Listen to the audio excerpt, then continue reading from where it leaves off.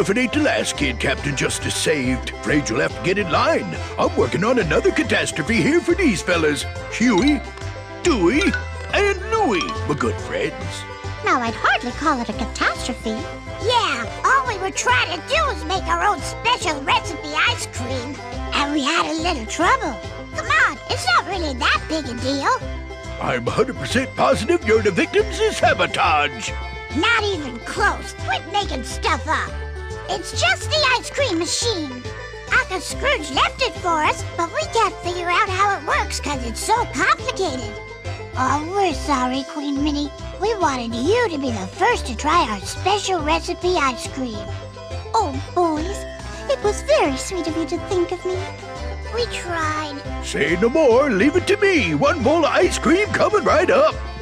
You're just going to make a mess. Leave it alone, Pete. That's Captain Justice.